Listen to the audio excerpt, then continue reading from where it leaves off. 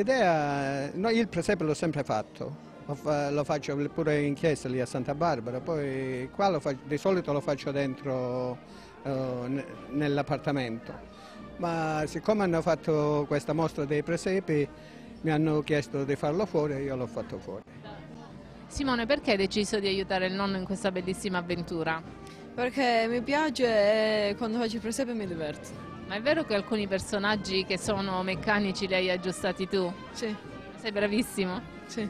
Comunque una bellissima, una bellissima realizzazione di questo presepe e soprattutto un bellissimo connubio il vostro, grazie. Sì, quest'anno eh, siamo riusciti un po' a, a fare da collante tra le varie associazioni e, e a organizzare una serie di eventi. E questo è, è, il terzo giorno, è il quarto evento che facciamo in, questo, in questa programmazione che si chiama Davoli in Festa. Sì, l'obiettivo era quello di portare tanta gente qui a Davoli per far conoscere il nostro bel paese e i nostri bravi artigiani soprattutto. E ci siete riusciti? Sì. Per quanto riguarda vabbè, le associazioni eh, che hanno lavorato quest'oggi sono eh, Aruga ed Avoli e il CID eh, in, in, coordinati dall'amministrazione dall comunale. Allora, per noi dell'Associazione Culturale Aruga ed Avoli è la quarta edizione della, della manifestazione Presepi e Fantasia, però quest'anno diciamo che tutto è stato organizzato e voluto dall'amministrazione comunale e noi abbiamo aderito molto volentieri. È stata una bella cosa lavorare con tutte le associazioni, faticoso come tutto, con tutte le cose che si fanno per volontariato, però una grande soddisfazione, tanta gente, siamo soddisfatti. Cosa avete fatto? Avete portato i bimbi in giro per mirare i presepi? Sì, di questo si è occupato un'altra associazione, il CID questa volta. Ci siamo divisi un po' i compiti. I ragazzi del CID si sono occupati di accompagnare le, i visitatori per eh, visitare appunto i, i presepi esterni nel, nel, in tutte le vie di Davoli, mentre noi dell'Associazione Culturale Arue Davoli si, ci siamo occupati dell'allestimento della mostra che eh, vedere, vedete nella chiesa di Santa Caterina Caterina d'Alessandria, qui dove, nel posto dove ci troviamo.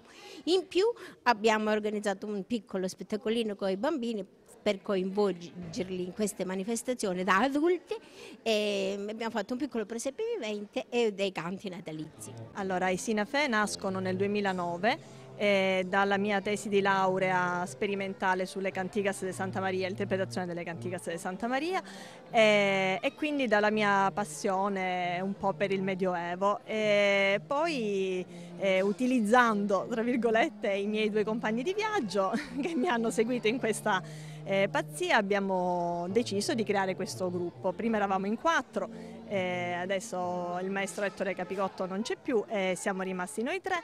E, ehm, e, diciamo che da quel momento io poi ho cominciato a prendere l'organo portativo che è uno strumento eh, di, a tastiera tipico del periodo medievale e, e abbiamo iniziato a girare così per borghi e castelli della Calabria ci siamo ampliati diciamo perché da eh, fermi che eravamo e che continuiamo ad essere ovviamente nei nostri spettacoli eh, con un araldo e quindi vari strumenti ad arco, eh, percussioni, strumenti a fiato. Siamo diventati anche itineranti come appunto questa sera con la sinfonia, la cornamusa medievale e la percussione di Maurizio eh, abbiamo in tutto questo aggiunto anche eh, un villaggio medievale itinerante fatto di vari giochi per grandi e piccoli, quindi che portiamo nelle varie piazze, nelle, nei borghi dei castelli. Ehm, e in più, eh, quando è possibile, organizziamo anche delle cene medievali. Quindi diciamo che ci siamo ampliati in questi anni abbastanza. Tornando al mondo moderno, chi volesse contattarvi dove può trovarvi? Allora, Sinafe Medieval su Facebook, la nostra pagina Facebook, eh, dove ci sono tutti quanti i nostri contatti.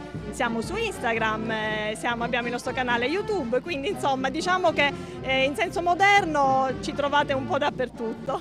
La nostra musica è la vita, è la nostra vita, è conciso da, da, da piccolini e ha sostenuto la nostra vita e la nostra esistenza, facciamo questo da quando siamo piccoli e non abbiamo mai smesso. Come vi accolgono i giovanissimi nel villaggio itinerante che voi portate in giro? I giovanissimi eh, hanno un grande entusiasmo a ricevere eh, dei meccanismi che appartengono alla cultura medievale, quindi riescono a far rivivere eh, le emozioni del medioevo, della cultura medievale in, in, in tempo reale. Ecco tutto questo.